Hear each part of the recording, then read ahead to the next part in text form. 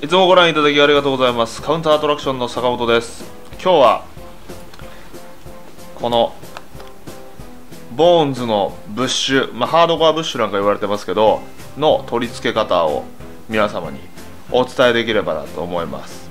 こちらのブッシュですねえっ、ー、と形がですねおどこ行った？あった。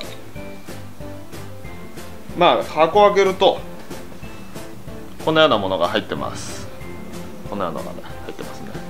これはミディアムという硬さでソフトミディアムハードって3段階硬さがあって各色が今は2色。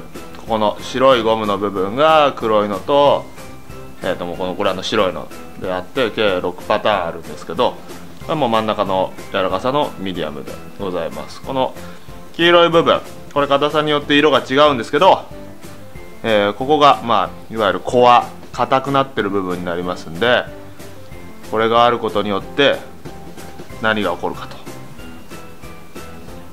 これ。これインディペンデントのトラックですけど下にこうワッシャーっていう金具が入ってます。上にもワッシャーっていうのが入ってます。この下のワッシャーがいらないんですね。まあそれはつけてみましょう。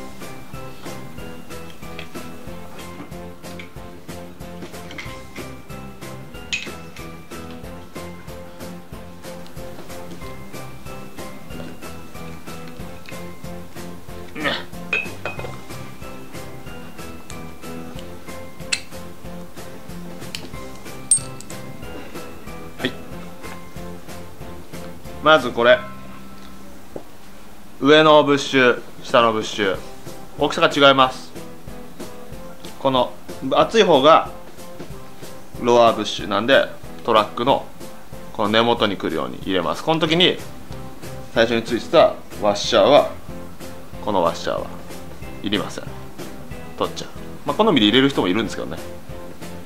お好みで入れてください。でこの状態でトラックのハンガーを入れます。でアッパー。これを入れます。でこのまま納得と思いきや今は専用のワッシャーが入ってますんでこれを入れて。入れないとコアが割れちゃうんですよね。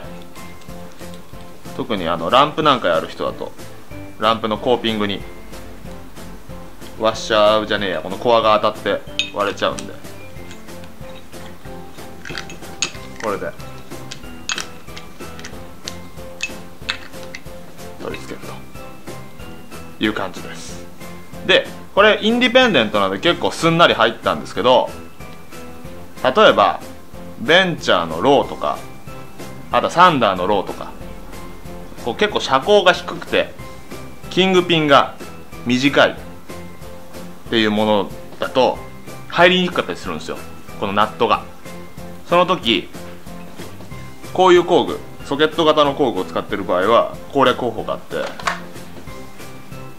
もう一個何かしら同じこのキングピンのナットをあらかじめソケットの中に入れとくんですよ。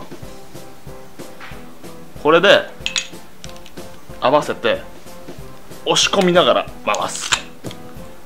でやると割と入るんです。これね結構使えるのでもし車高の低いトラックを使ってブッシュがはまんねえってことがあったらぜひ試してみてください。